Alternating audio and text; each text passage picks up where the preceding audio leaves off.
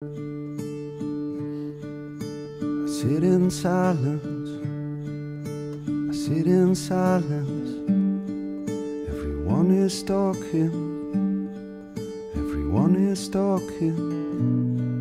As I sit in silence, there's an elephant in the room.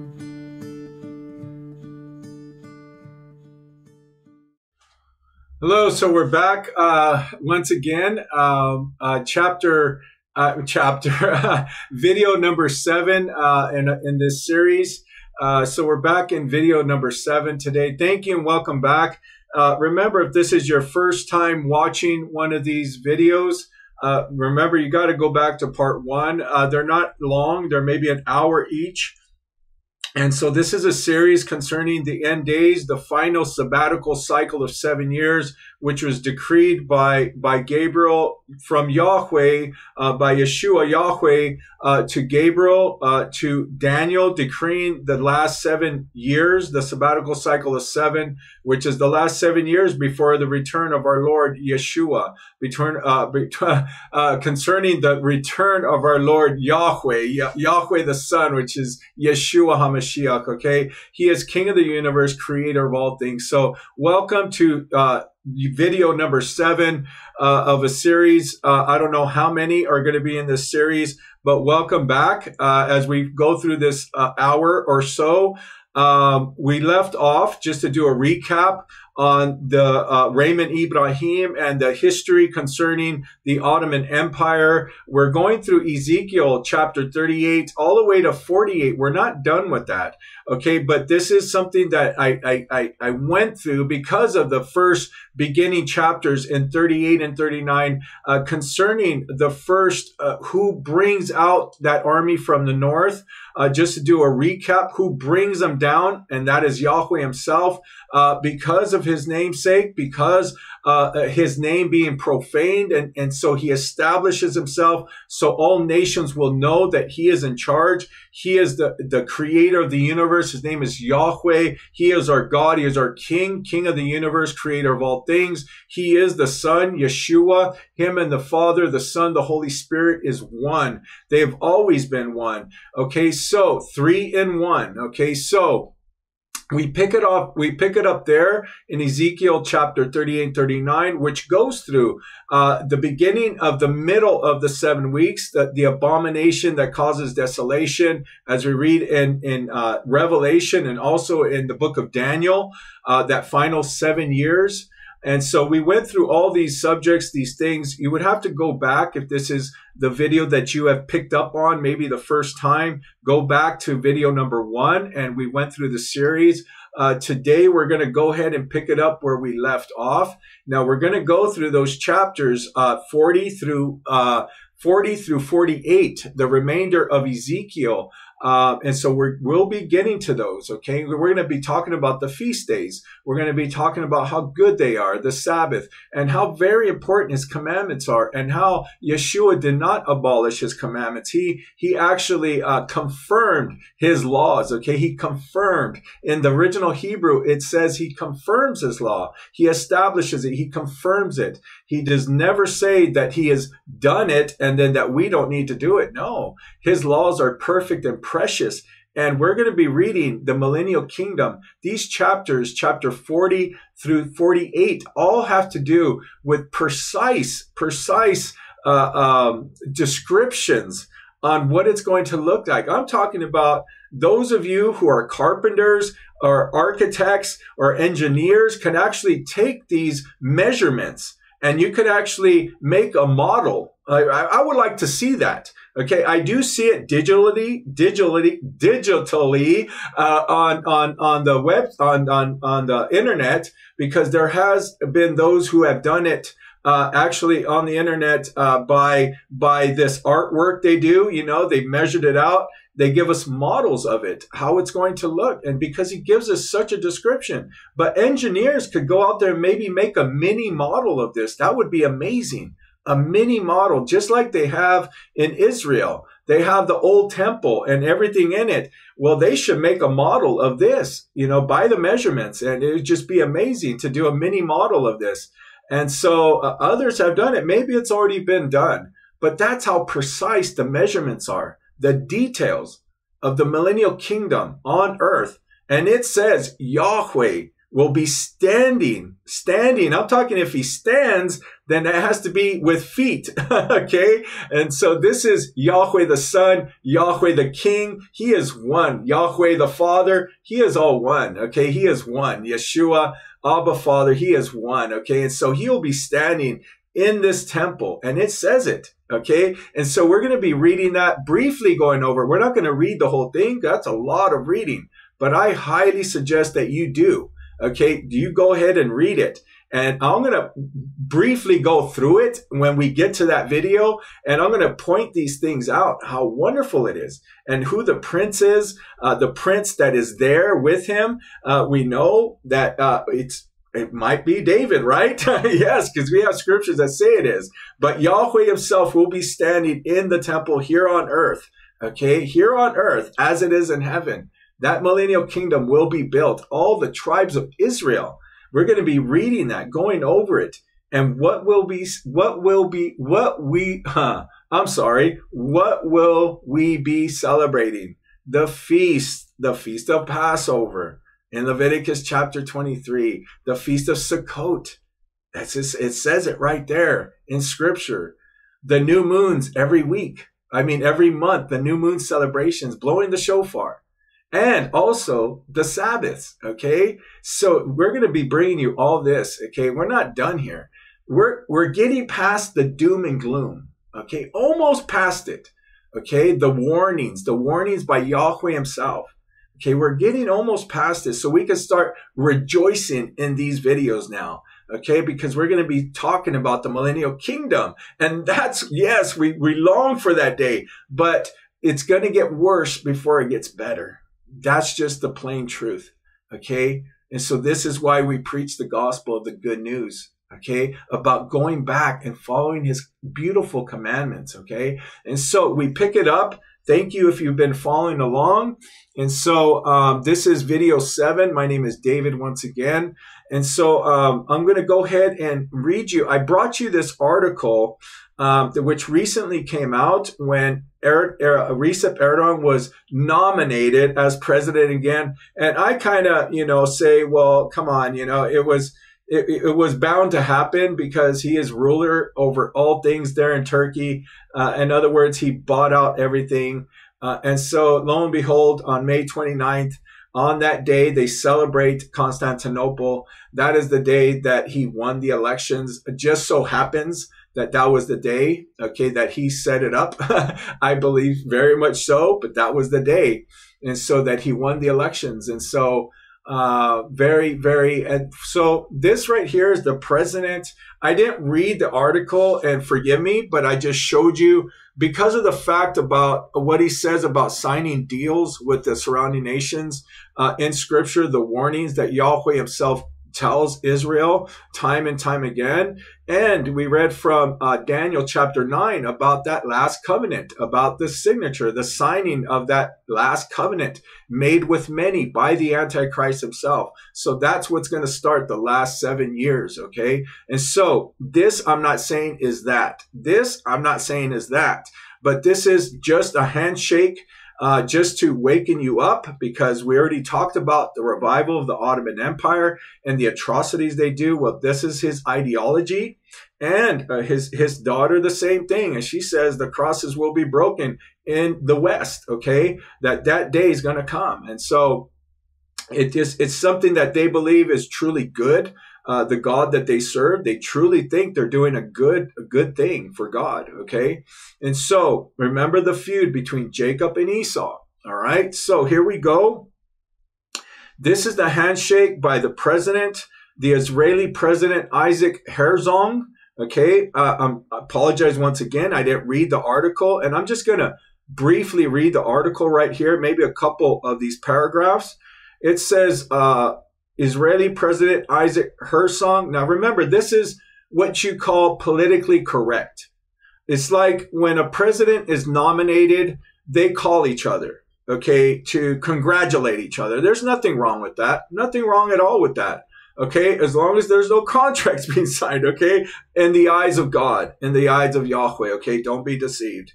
And so, um, is there anything wrong with with uh, Netanyahu calling and, and, and telling them, celebrating and saying congratulations? No, because this is what they do. The different nations they get nominated. I'm sure uh, uh, Erdogan called uh, uh, Benjamin Netanyahu when he was elected back, and he congratulated him. This is how they they they work amongst each other. Because yes, do they want peace? Of course, Benjamin Netanyahu wants peace. That's what all Israel wants is peace.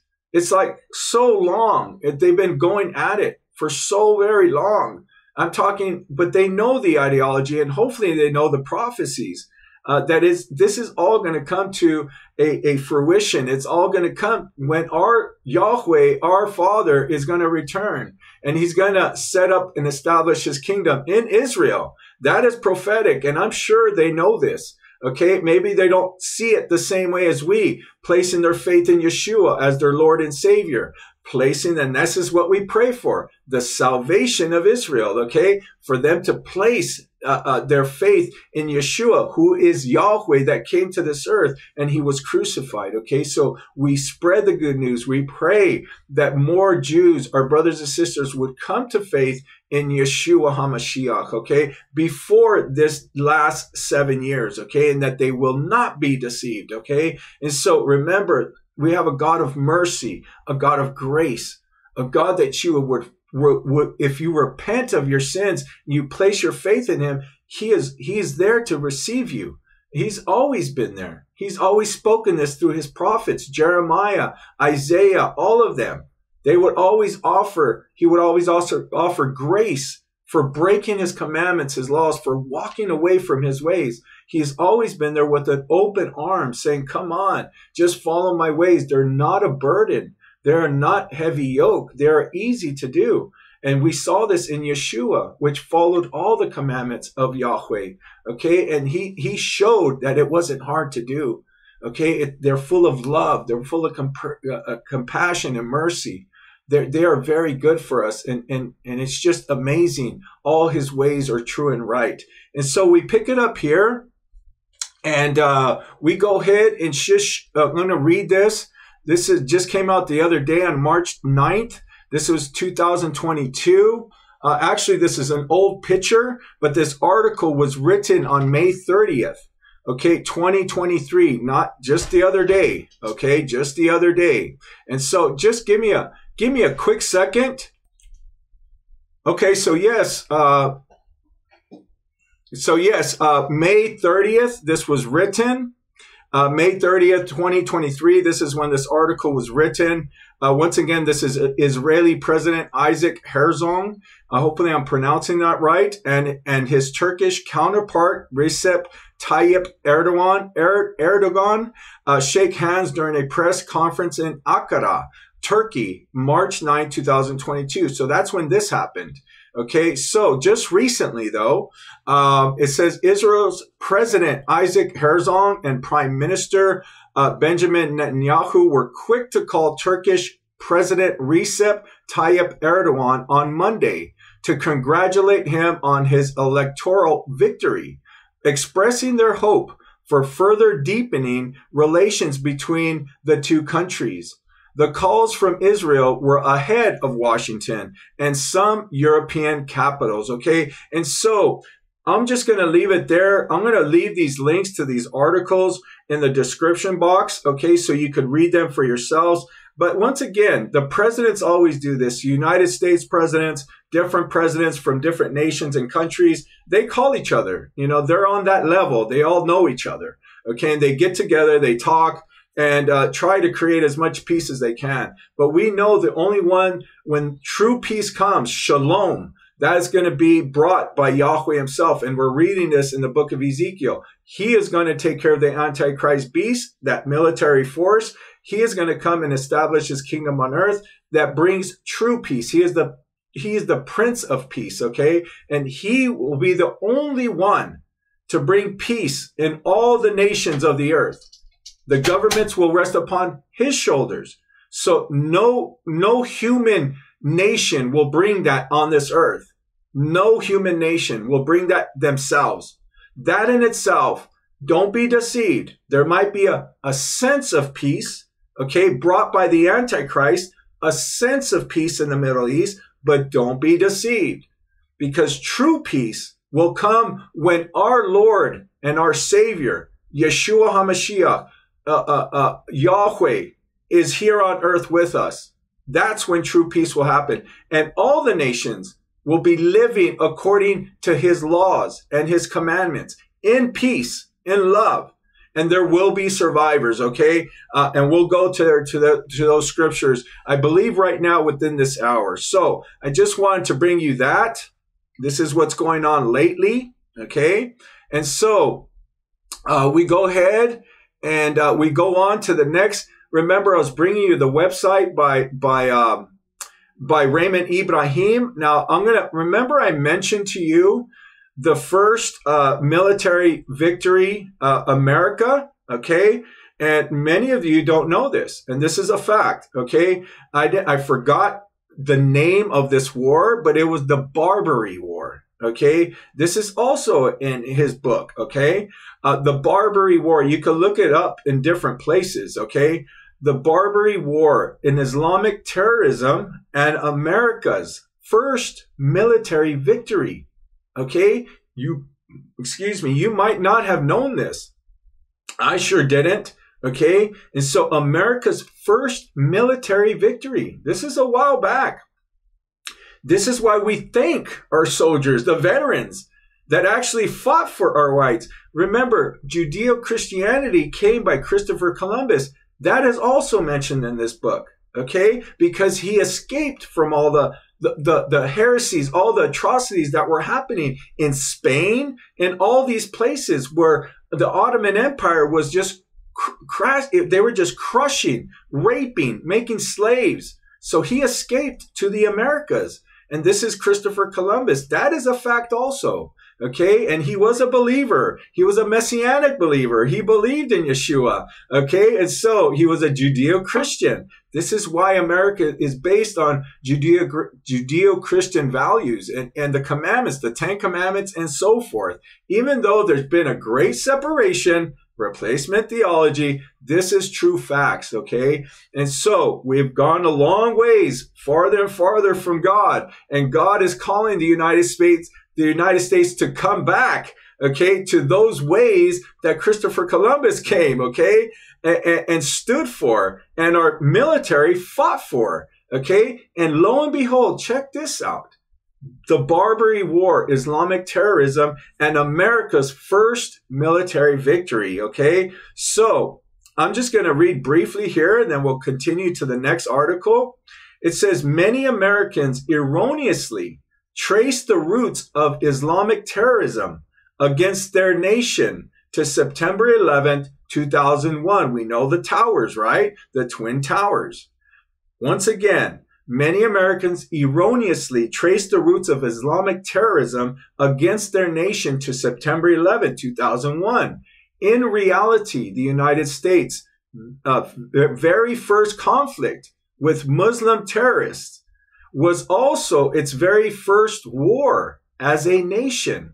And it won victory right on that war, that war 213 years ago today. This was on June 10th, 1805. Okay. So he wrote this article on June 10th. Okay. But 213 years ago on June 10th, 1805. Okay. We had victory against Islam. Okay. And now look what's become of our universities. I'm not going to get into all that. Okay. But look what happened at the Twin Towers. We don't learn our lesson, right? And so the same ideology. So remember this and just, just be careful. Okay. And so pray for them. Remember, they are good. They're just in bondage and they don't think they're in bondage. Remember, they actually think they're doing good and they just want peace also. This is why so many are seeing this. They're seeing the atrocities. They don't want to have nothing to do with those atrocities. They're seeing how evil it is. So many are converting because they're realizing who Yeshua is, who Yahweh is, how full of love he is, how compassionate he is. And so they're falling in love and they're converting. but they face a lot of dire consequences for doing so from their own leaders and their own nations, okay? Even some, their own families. This is the truth. And so I just wanted to, we'll leave it there. It's called um, the Barbary Wars, okay? And it gives you detail what happened there. Very interesting article. So I, I, I recommend that you go and check this out, okay? Remember, I'll leave the link in the description box and you can check out all these things also in the book itself, okay? And so I didn't know that, but yes, there is a lot of things that we don't know, okay? Concerning that last end time beast. And, and remember, we're going through Ezekiel 38 and 39. This is what led me to share these things, okay? And so there you have it there. Uh, also, Jihad Unleashed on Malta. That is also in the same book. Okay. And uh, we know that with Malta, so there you go, have it there. Uh, today in uh, history, May 18th, 1565, one of the most symbolically important military encounters between Islam and Europe.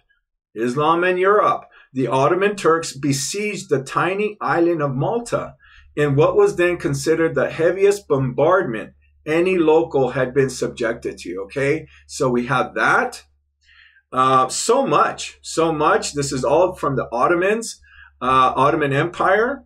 Okay, and we went through that on the maps. Okay, Gog of Magog. Okay, today in history, a Christian mustard seed delivers Spain from Islamic tyranny. Spain, if you didn't know, was also okay taken over by the Ottomans. Okay, by the Turks. Okay, they were outspread. Remember, I showed you the map of the Ottoman Empire. It was very big. They dominated and crushed a lot, all the way from Spain east and to the west, north, south. It was humongous. And this is what he wants to reestablish, okay? So, um, we have it there today in history on May 28th, 722. An immensely decisive battle between Christians and Muslims took place in Spain, a clash that, as shall be seen, is taking on renewed significance. Eleven years earlier, in 711, hordes of North African Muslims, Moors, godlessly invaded Spain to destroy it. To quote from the Chronicle of 754, they did not pass a place without reducing it and getting possession of its wealth. Boasted Al Hakam, an early Muslim chronicler, for Allah Almighty has struck with terror the hearts of the infidels. And so you can go ahead and read that. Uh, just continue to read that. And um, if you want, I'll leave this this also this link in the description box. Okay. All right. Uh, enigma solved. Egypt's persecuted Christians many times more than officially reported. Now, also, Egypt is being persecuted. Uh, all this news is brought to you by this website and also many other websites. Um, I'm going to be bringing you a couple other things here. Uh, Open Door Ministries, you can go there to that website and see what's going on. Voice of the Martyrs, persecution.org uh, and so many other outlets that you can go to to look what's going on right now, real time in the Middle East. Okay. All right. So, um, Egypt's okay. So Egypt is being persecuted. Uh, you could go through this article. Christian denominations, Christians of all denominations, account for about only 14% of Egypt's entire population, or roughly 15 million of the nation's 105 million. So are they, are they, is it okay for them to be Christians? Yes. But in other words, the government and everything in them is kind of votes them out. Like they try to build a church and they really, they have a hard time doing it because so many mosques are there. Okay. So this is how they deal with them. And so they are pushed down. Okay. Uh, and also a lot of abductions of Christian young girls, okay, happen in Egypt. A lot of oppression to the Coptic Christians once again. So another um, detailed article that you can read. And so we go back to, right now, we're going to go back to Ezekiel. And we're going to continue in Ezekiel uh, chapter 38. Uh, and I want to bring you, I told you I was going to be bringing you uh, also Zechariah chapter 14. Uh, just before I go there, I just want to uh, read Open Door Ministries. If you want to go to Open Door Ministries, they have a world watch list, okay, of all the persecution that is happening in all those nations. And I'm just going to read off the list here of high hostile, uh, I'm talking very high persecution going on. And they'll send you a map, okay? They will send you a map and and in this map they'll let they'll let you know the extreme persecution so you'll know who to pray for. Now every year they do send a map, Open Door Ministries uh, number one is Afghanistan on the list. Number one, uh, North Korea. Number two, Somalia. Three, Libya. Four, Yemen. Five, Eritrea. Six, Nigeria. Seven, uh, Pakistan. Uh, number eight, Iran. Number nine, India. Number 10, and Saudi Arabia. Number 11. Now it has 50 Okay, I'm not going to read through all the 50, but if you want to go and know who to pray for, the top 11 are extreme persecution. The ones I just read you, those are extreme persecution that is going on. I'm talking violent persecution. Now, go to this. It's called the World Watch List at Open Door Ministries and uh, check that out. Check that out so you know what to pray for our brothers and sisters who are placing their faith in Yeshua, this is what they go through. Okay. And the other ones are at a lower uh, persecution level, but those first top 11 are extreme. So I just wanted to bring you that before we continue. Thank you. We always pray for our persecuted and oppressed brothers and sisters. So now we're going to go ahead and go to Zechariah chapter 14. Okay.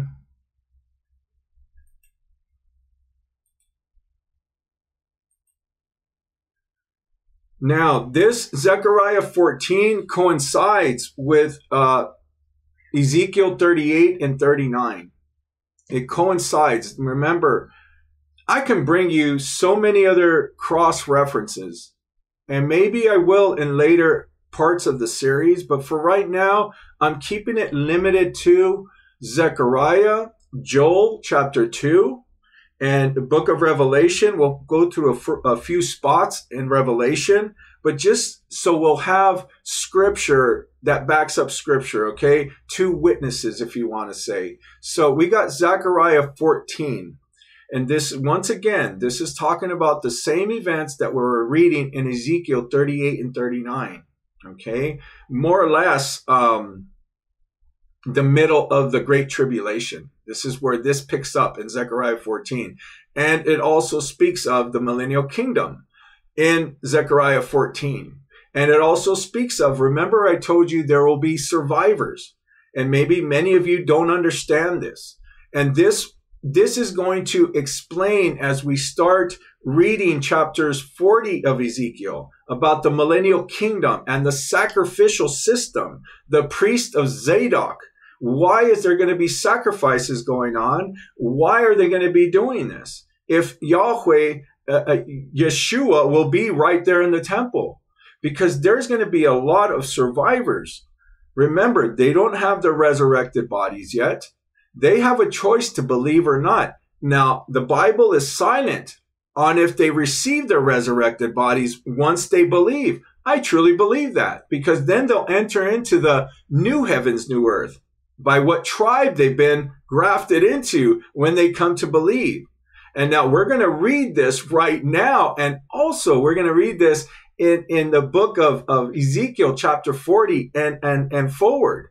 We're going to be reading this about the sacrificials, and this will answer a lot of those questions. Why is he going to be sacrificing again? Animals. Why are they going to be sacrificing? Why is it going to be blood sacrifices? Remember, he's going to bring all that back. This is his laws. Remember, he did not come to abolish his laws.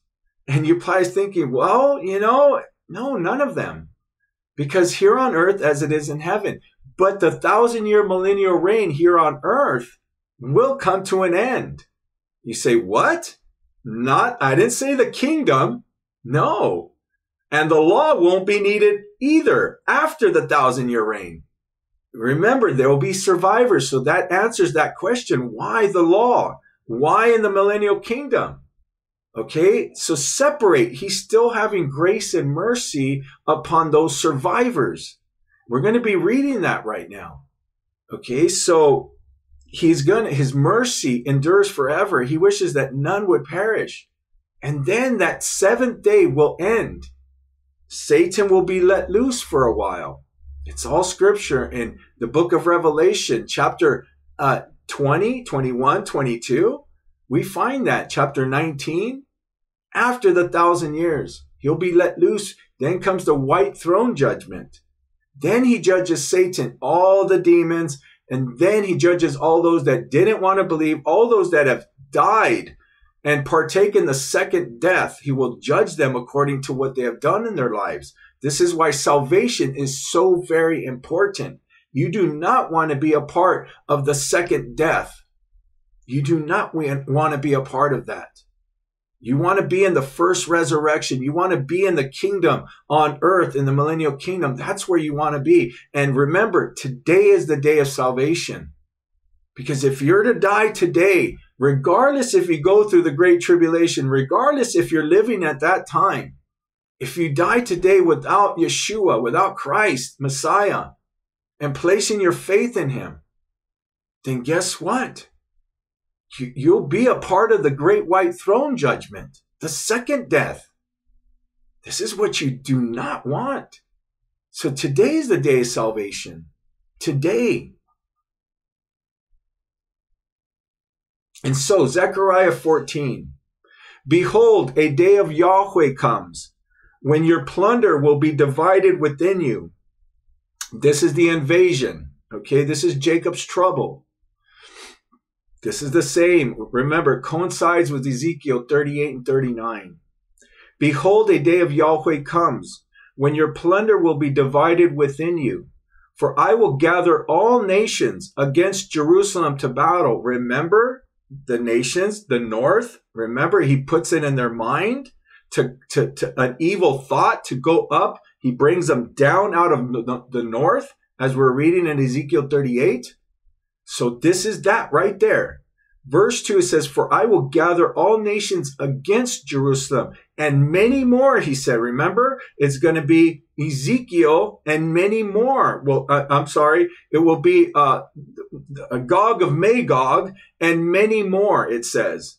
That, that army that he brings down from the north, he puts a hook in their jaw and he brings them down. He will be leading this Antichrist army. Okay, and so for I will gather all nations against Jerusalem to battle, and the city will be taken. The city will be taken. The houses rifled, and the women ravished. Remember, we were reading what the Ottomans did. Remember what we were reading the MO, the same MO. This was different than the Romans. The Romans, you don't hear that type of history of them doing that. But you do read it in the Ottoman Empire and the wars that they had. Ravaging the women, that means raping them. Okay, so we have that same MO right here. It says, For I will gather all nations against Jerusalem to battle, and the city will be taken, the houses rifled, and the women ravished. Half of the city will go out into captivity and the and the rest of the people will not be cut off from the city. Then Yahweh will go out and fight against those nations. In the first, it tells you right here. This backs up scripture in Ezekiel, the same thing. It says, then verse 3 Yahweh will go out and fight against those nations. This is what we're reading in Ezekiel 39 as when he fought in the day of battle. His feet will stand in on that day on the Mount of Olives. Now, many do not say this, but this is when he stands on the Mount of Olives. Now it skips a lot here, right? Right? But this is Ezekiel 38, 39, which gives you more detail. And we're going to be going into Joel 2 right now. Then Yahweh will go out and fight against those nations. Amen as when he fought in the day of battle. His feet will stand in that day on the Mount of Olives. Whose feet? Yahweh, the Son, Yahweh, his feet. It's talking about Yahweh here. And that's another thing. I love this translation here. Okay. We are reading right now Zechariah and it says, who will stand there? Yahweh. It's like, wait a minute here. Yahweh. Yes. Yahweh will stand there. Some of your translators say the Lord. Who is the Lord? It is Yahweh. Who is Yahweh? He's the Son. Yahweh the Son. Okay, so he's always been King of the universe, creator of all things. So it says, then Yahweh will stand in that day on the Mount of Olives, which is before Jerusalem on the east, and the Mount of Olives will be split in two from east to west the great earthquake, remember? Making a very great valley, the same valley that is spoken of in Ezekiel. Half of the mountain will move towards the north and half of it towards the south. You shall flee by the, the valley of my mountains. Once again, my mountains, he says. He said the same statement in Ezekiel, my mountains. I will bring them to my mountains.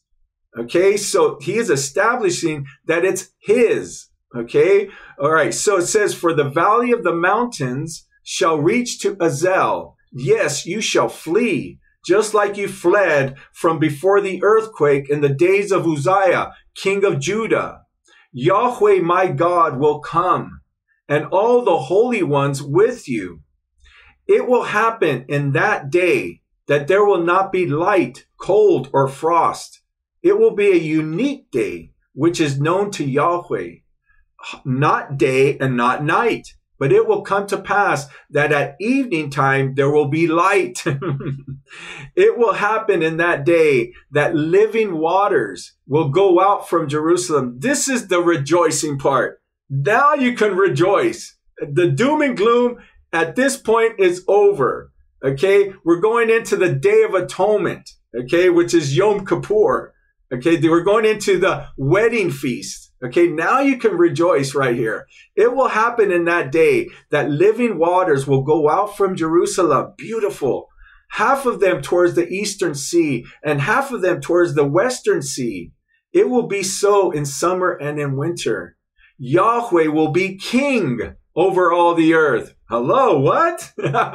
Yahweh will be king over all the earth. He already is king. He has always been king. Before the foundations of the earth, he has always been king of the throne. Remember this. He will be king over all the earth. In that day, Yahweh will be one and his name one. I love that. Once again, let me highlight that. Yahweh will be king over all the earth. In that day, Yahweh will be one because he is one. Can he be in two places at the same time? Yes, through his Ruach HaKodesh, he could be in all believers all around the earth at one time. He's omnipresent, but he's three in one. He is one, King of the universe, creator of all things. And his name is one. Verse 10, all the land will be made like the Arabah from Geba to Rimmon, south of Jerusalem. And she will be lifted up and will dwell in her place from Benjamin's gate to the place of the first gate to the corner gate and from the tower of Hananel to the king's wine presses. Once again, this description fits the description in Ezekiel that we're going to be going through uh, 40 through 48. Okay. So men will dwell therein. We're talking about the millennial kingdom. Men will dwell therein and there will be no more curse. Remember, he restores all things back to Eden. No more curse on the ground. Even the ground cries out. He's going to restore it. It's cursed. The ground, it's cursed. Okay. And so, but Jerusalem will dwell safely. No more that's, this is truly no more. When I talked about shalom, peace, the prince of peace, this is Yahweh. This is when he establishes himself in his Jerusalem on his throne, which was the throne of David. Remember this. He will sit on that throne forever here on earth as it is in heaven and then into the millennial uh, into the new heavens new earth and we'll get there okay? Uh, just just let me get through this and we'll get there uh, whether it be in this video or maybe another one. Men will dwell therein and there will be no more curse but jerusalem will dwell safely. Finally finally no more idf needed. Truly truly not a false sense of peace but our lord our lord yahweh yeshua will be there right there with us. This will be the plague. Here we go. This will be the plague with which Yahweh will strike all the peoples who have fought against Jerusalem. Er, wait a minute. Let's park it there. Survivors. Those who have fought against Jerusalem. Look at the mercy and the love of our Father. Yes, does he take out that jihadist, that that that that that beast army? Yes, he does. Does he bound Satan for a thousand years? Yes, he does. Even that. No more demons, no more unclean spirits to bother us. No more. No more. Glorious hallelujah. Amen. No more. What a time to rejoice. But there will be survivors that didn't, didn't believe, but they, he allows them to survive. And this is what one of our job descriptions will be to, to, to help them so that they'll learn, so that they'll know Yahweh himself, the sacrificial system for them. And then at the ending of the thousand years, they will all be hopefully repentant, all of them. But he will, with an iron scepter, he will, his laws will go forth. And you might as well start getting used to it now. The, I'm talking about the feast days. I'm talking about the Sabbaths, the new moons. Those are commandments. The law. It will go forth from Zion. And all nations, all knees will bow. It talks about them right here, the survivors from the nations, the ones that fought against Jerusalem. This will be the plague. There will be plagues. If you don't, if you don't, if you don't, I want to chuckle, but if you don't, he's going to have his way so that his name will no longer be profaned. His ways are perfect, divinely spoken. This, verse 12, this will be the plague with which Yahweh will strike all the peoples who have fought against Jerusalem, their flesh will consume away while they stand on their feet, and their eyes will consume away in their sockets, and their tongue will consume away in their mouth. If, right? If it will happen in that day that a great panic from Yahweh will be amongst them because he's going to be right there and they will each seize the hand of his neighbor, and his hand will rise up against the hand of his neighbor. Judah also will fight at Jerusalem, and the wealth of all the surrounding nations will be gathered together gold, silver, and clothing in great abundance. Remember what we're reading in the book in, in, uh, Ezekiel chapter 38. Remember, I says they don't actually rob, they don't actually steal back, but they just get back what was taken from them. That's this right here. That is this. And we could go through that scripture in Ezekiel 38 again. If you weren't paying attention, he says they will, he will allow them to rob back what they plundered. Okay. But not like they're stealing and breaking one of his commandments. No, they're just taking it back what they took from Israel when they invade. Listen what it says here, chapter 14. Judah will also fight at Jerusalem. And the wealth of all the surrounding nations will be gathered together. The surrounding nations, the one that came up against Israel and took and looted gold, silver, and clothing in great abundance. A plague like this will fall on the horse, on the mule, on the camel, on the donkey, and all the animals that will be in those camps. In other words, he's gonna he's gonna send out a plague to teach them a lesson. Those who fought against Jerusalem, but they won't die. They won't die. He was not gonna he's not gonna kill them.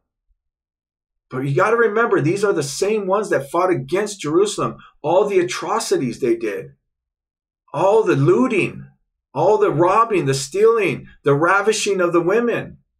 They're going to pay the price. But they got a choice to repent. In the millennial kingdom, they got a choice. I want you to read through these scriptures carefully. 16. It will happen that everyone who is left of all the nations that came against Jerusalem will go up from year to year to worship the King, Yahweh of hosts, and to keep the feast of booths. So to all of you who say the feast are done away with, who is Yahweh here? Who is Yeshua? Yeshua says he didn't come to abolish the laws. So we got this feast of booths coming up this fall. And I've been celebrating them every year now. I have repented because we're going to be doing it here. And if you choose not to, look at the warning. This is the millennial kingdom now. The feast of booths is Sukkot. This is the last of the fall feast. We're going to be reading this in Ezekiel. This is one of those that we continue to come up to Israel with Yahweh himself standing there in his temple. And he's saying, okay, all of you that didn't want to go along, didn't want to come up to celebrate, or didn't want to celebrate in your own homes, well, you're going to have to. You're going to have to. So you might as well get used to it. A dress rehearsal. He's watching all of us. He left us his precious laws his ways that are perfect. And he wants us to follow them here on this earth. And then kingdom, the kingdom in heaven will meet earth. When heaven meets earth, this what we're reading right now. And it says it will happen that everyone who is left of all the nations that came against Jerusalem will go up from year to year to worship the King, Yahweh of hosts, and to keep the feast of booths, Sukkot, tabernacles, the feast of tents, it's the same one. The last of the fall feast in Leviticus, the last feast day, you can read it in Leviticus chapter 23. The last feast day is called the Feast of Booths. Remember, it's prophetic. It's prophetic. All of Leviticus 23 is prophetic. And it's very important. Verse 17 It will be that whoever of all the families of the earth does not go up, doesn't go up to Jerusalem to worship the King, Yahweh of hosts, on them there will be no rain. I want to highlight that. Very important. I'm going to highlight this right here. It will be that whoever of all the families of the earth doesn't go up to Jerusalem to worship the King, Yahweh of hosts, on them there will be no rain. If the family of Egypt doesn't go up and doesn't come, neither will it rain on them. This will be the plague with which Yahweh will strike the nations that don't go up to keep the Feast of Booths. Now you know why it says he rules with an iron scepter. Because he's going to put the nations in subjection for denying him. But this is mercy. He's not cruel. This is mercy. He's given thousands of years here 7,000, 6,000 to be precise, to follow his ways the nations that surround Israel, talking from Mount Sinai, coming down himself, establishing, confirming his laws, and saying, Follow me, follow my ways. 6,000 years. He attempted in every way possible grace throughout the whole earth. Grace. A time, a time, there's a limit of time that He has set. And then this will happen. You will not have a choice anymore unless you want to receive the plagues. But that's mercy on His part. He could just do away with every unbeliever, every nation, all those that came against Israel and his ways. And he could just take them all out. And in the kingdom, it's nothing but believers. No, he gives them a chance. What nations are these? Just the surrounding nations? No, there's many nations in all the earth. Many will survive. Those who choose not to come up to the kingdom.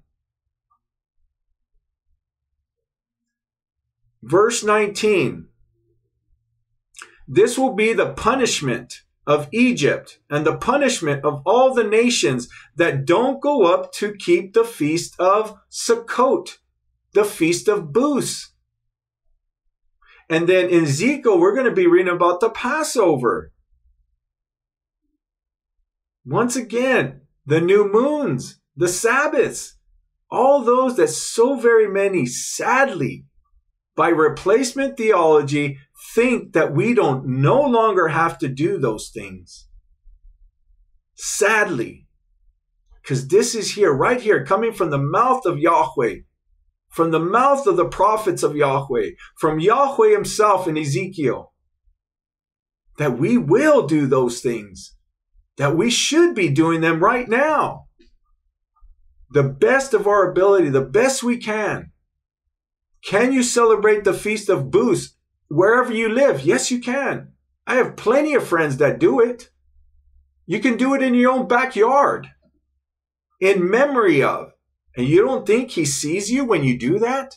You build a little tabernacle and you, you live in it, maybe in a tent, which many gather together and they live in tents. They go camping, they make little tents for seven days. You don't think Yahweh sees that and honors it? The best of our ability. You don't have to be in the land to do this. Remember, we've been grafted in wherever you live in the entire earth. Remember Paul, he sent out Gentile nations. He sent out to the church of Colossus. Very important. We'll going to that scripture. Let me write it down so I can, I don't have to continue to tell you.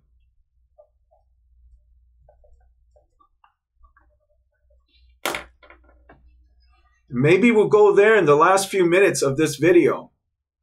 And then we'll finish up this right here. Verse 19 This will be the punishment of Egypt and the punishment of all the nations that don't go up to keep the Feast of Booths. What was that? Egypt and what? The punishment of all the nations. So, what are all the nations considered? If you're not in the land of Israel, where this is his Israel, the Holy Land. All every other nation is every other nation outside of Israel, which is the entire earth. All the nations around the earth will fall in line. They will do it. Or else it's, it's not my words, it's his words. I'm just reading his words.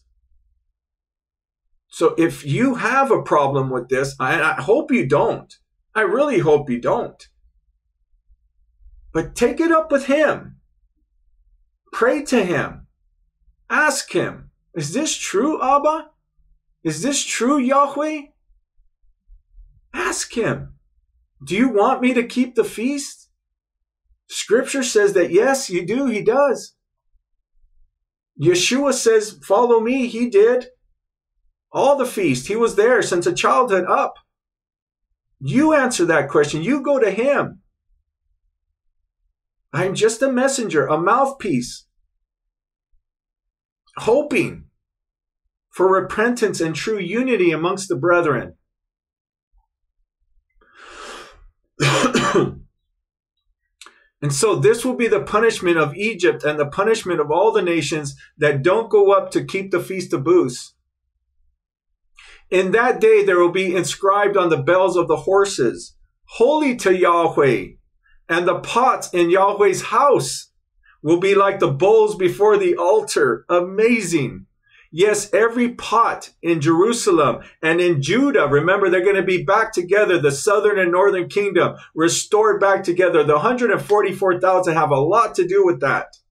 A pure 12 tribes of Israel back together again.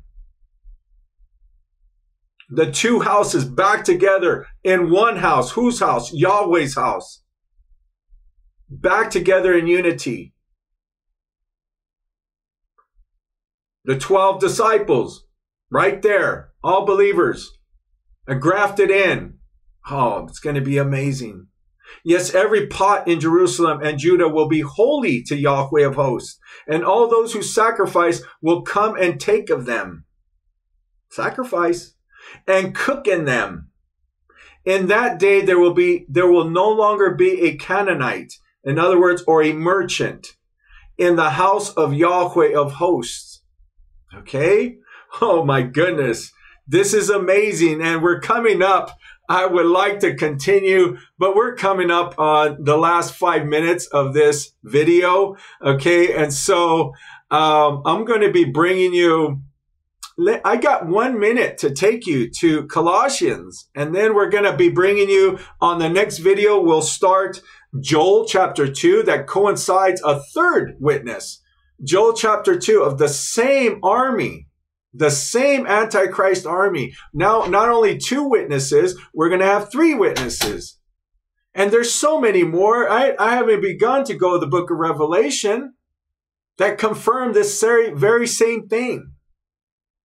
Okay, so in the next video, we're going to be starting with Joel chapter 2. But I'm going to take you right now quickly and we'll end this video to the book of Colossians. Okay. So let's go, let's get there. And it's just a brief one. It's in the first chapter. And then now read it carefully. So many take this paragraph out of context. It's towards the middle uh, forgive the barking. That's just my dog outside. let me see if I can find it here. Uh, let me see. I know it's here. Oh, I, am speaking of an. I was speaking of another. Oh, hold on. I, I feel kind of foolish because uh, in the middle of Colossians, I love this. This is the scripture I was thinking about, but it's not this part. I'm sorry. So I'll be bringing you that in the next video. But this is a good one, though. This is very powerful. All those who know and think that He is not Yahweh, okay? Uh, in other words, Yahweh the Son, Yeshua, Yahweh Yeshua, that's His name, right? He is the image of the invisible God. Who is? You read it in the context and it's talking about Yeshua. Okay. Messiah Yeshua. Okay. This context, read Colossians chapter one. And I will find that scripture for you. I feel kind of foolish, but I will. Okay. About the Sabbath, about, about being uh, judged by others not to keep those days. Okay. And so, but this is just, just as powerful. So we're talking about Yeshua in the context. So he who, Yeshua, Messiah, is the image of the invisible God, Yahweh Yeshua, the firstborn of all creation. Of all creation. What? He's always been there. King of the universe. It's Yahweh. For by him all things were created in the heavens. By who? By Yeshua, by Yahweh, okay? Yeshua the Son. All things were by him. All things were created in the heavens and on the earth visible things and invisible things, whether thrones or dominions or principalities or powers, all things have been created through him and for him. He is before, he is before all things, and in him all things are held together. He is the head of the body, the assembly, who is the beginning of the firstborn from the dead, the resurrection, that in all things he might have the preeminence. For all the fullness was well pleased to dwell in him. And through him to reconcile all things to himself by him, whether things on the cross or things in the heavens, having made peace, shalom, that true police, that true peace I was talking about, shalom, through the blood of his cross. Amen.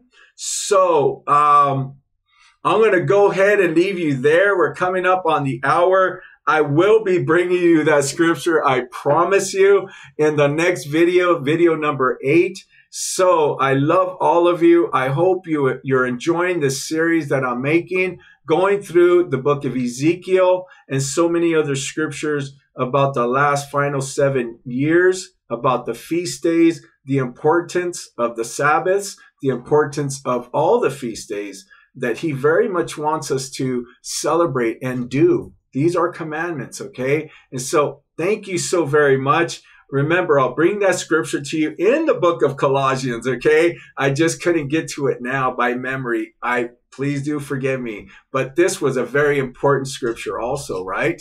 So uh, I'm going to go ahead and let you go for now, and I will be back for the next video. Remember, I love all of you. Goodbye for now, but never forever.